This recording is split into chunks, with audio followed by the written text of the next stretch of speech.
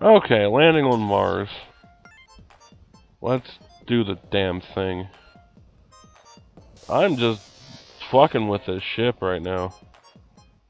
I'm sorry, I'm fucking with my magic bus right now. Too much magic bus, one could argue. Yes, that's a reference to The Who for anyone who's into the classical, classical rock. Classic rock. Fuck am I talking about?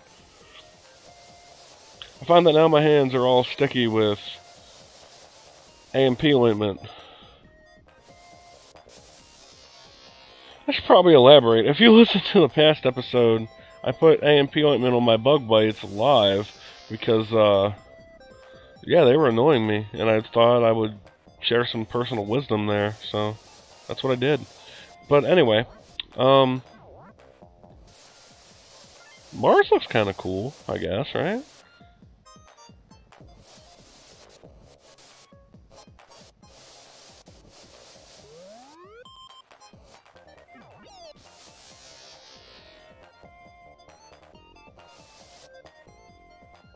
This is where we, we men come from, um, according to popular lore.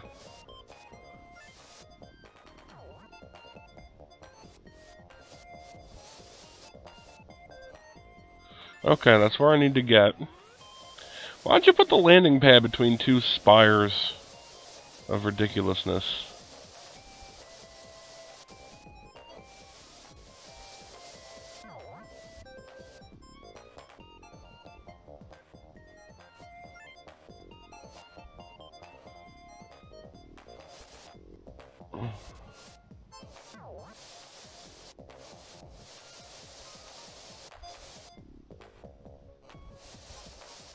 Oh, I didn't bring my delicate driving hands to work today.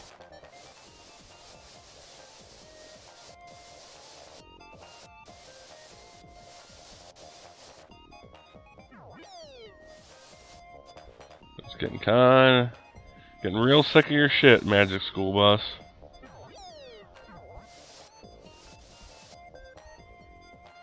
Okay, the entrance is on that side. Come on past me, realize this.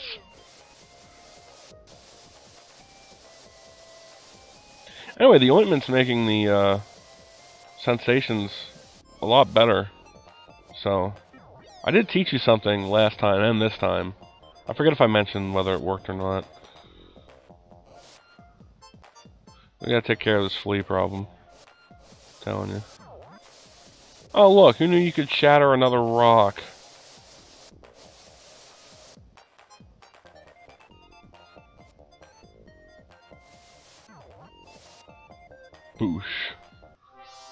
Booyakasha.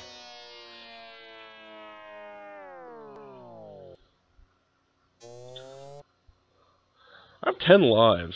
How many do we, how many do you even start with? Was it like eight or seven? I think, probably. Was it three? Because I'll be real impressed with myself if it was three. Walking on Mars. I predict this particular feat will be done in real life before my life ends. If we start giving NASA the funding they need. Oh hey, this was recorded during the stupid government shutdown of 2013. The government shut down because Republicans in general in the Senate were not realizing that you can't stop working because you don't like something. At least that's kind of my impression of it. I wasn't a huge fan of the Health Care Act either, but you can't just like be like, okay, fine, we're not gonna do anything then. That's like some fucking fucking three-year-old shit. And since Republicans were the ones doing it, they're the ones I'm taking to task right now on this commentary. Just if you guys, if anyone listening is looking for a political party to join, go Libertarian. It makes the most sense. I'm telling you. It's not associated with the smoke pot man values that people like to say it is. Personal liberties are more important than governmental abilities. Which is what's right. The government should be able to tap my phone and shit. Get that star. I'm sorry I'm going so off topic. Um, Mars is kind of a dull place, you know what I mean? It looks like the greater New Mexico desert, but space.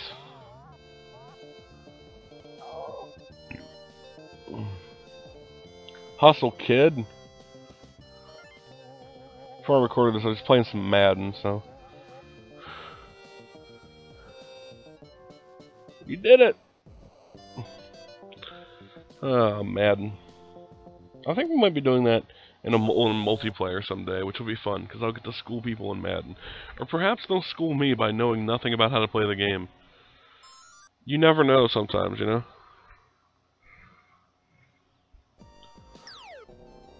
Alright, a mountain on Mars. You you can do this, Justin. You're good.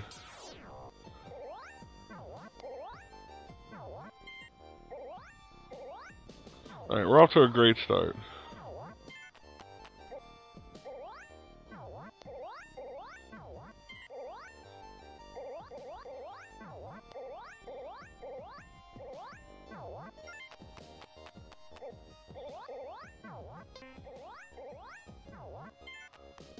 I am kind of moving here.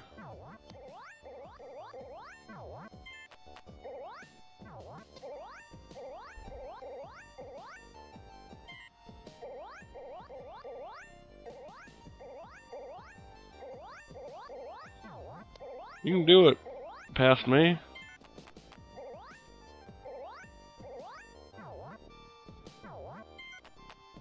Oh, that's what I messed up. Okay.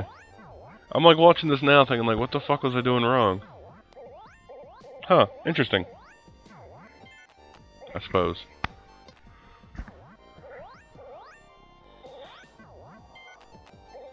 Oh, mountains and rocks all look the same.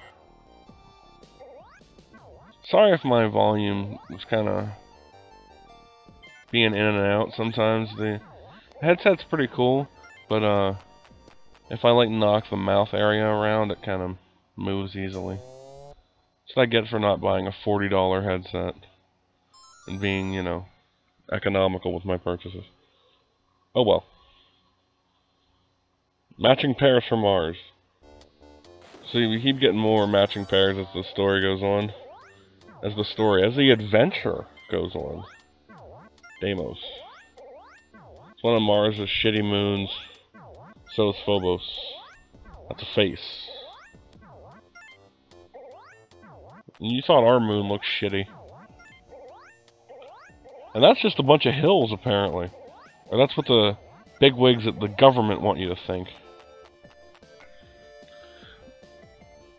there are these there are these shows that are on like Destination America and these other weird um, channels that are like uh,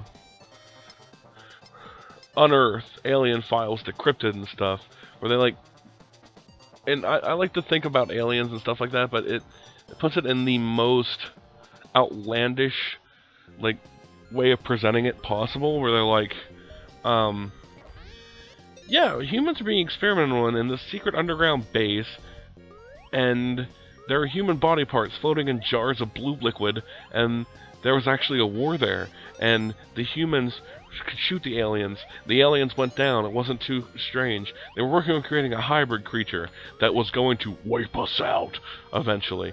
And like, I'm listening to this, and I'm thinking to myself, all right, I'm, I'm willing to listen to your story, but you need to first be, you need to give it to me in small doses instead of saying you're being lied to, you're sheeple, a fucking word I hate. But you know, you, you have to you have to present things slowly or no one will take you seriously, conspiracy theorist. And I love conspiracy theories, too. I'm all over it. It's one of my primary uses for the internet back in the day. On old Windows 98, I would sit and watch that show on Sci-Fi Channel called Sightings back in the day when sci-fi was actually about, like, science fiction and shit. And, uh, it was like a daily show about, uh, ghost hunting and all that whatnot. I would actually uh, go to. This is before the days of Google. Was, I'm old school with Alta Vista, and uh, I'd go there and I would search for alien stuff.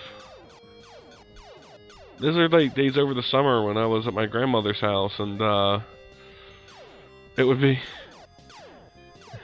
before Wheel of For before Wheel of Fortune before The Price is Right. Anyway, that's what I used to do as a kid over the summer. Space.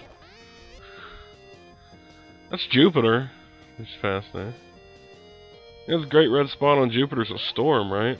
I'm sure you learned that in your astronomy class in elementary school.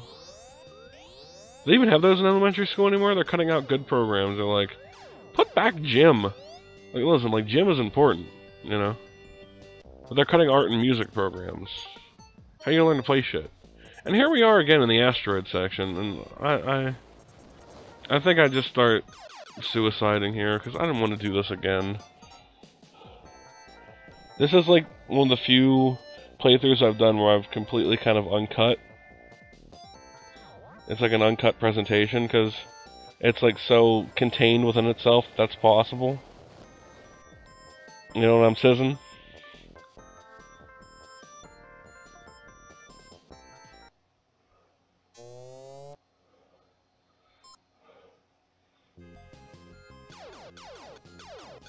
Where'd you learn to drive a spaceship? Star Wars? Is that an acceptable answer?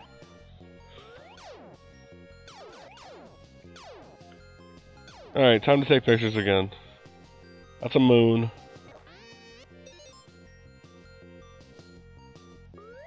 Did you know on uh, one of Jupiter's many moons, they think there's an underwater, like, submerged ocean beneath layers of ice? That's pretty cool to think about, right? You fucking space whales there and shit. I don't know. Like I said, I'm really interested in space, so I think that's why this game appealed to a young Rowles. Landing on the clouds of Jupiter. Because Jupiter's a gas giant. You can't... You can't land in the center, you'll just be crushed by pressure. It's pretty lame, huh? Like, I first heard that, I was like, oh, these giant planets, that must be so cool. They're like, no, it's made of gas. There's no real surface to speak of. I was like, well, guess we can't land there and do stuff then. Teacher's like, nah. Like, huh. And she was like, and I was like, and she was like, and I was like. I hate talking like that. It, sometimes it slips out, though. You know what I'm saying? I like saying, you know what I'm saying. I keep doing it. Anyway, that was a really quick landing sequence, because I'm the best driver. I'm the best magical spaceship bus driver in town. Really limited to that position too. Like, you, see, you, you do that or you do nothing.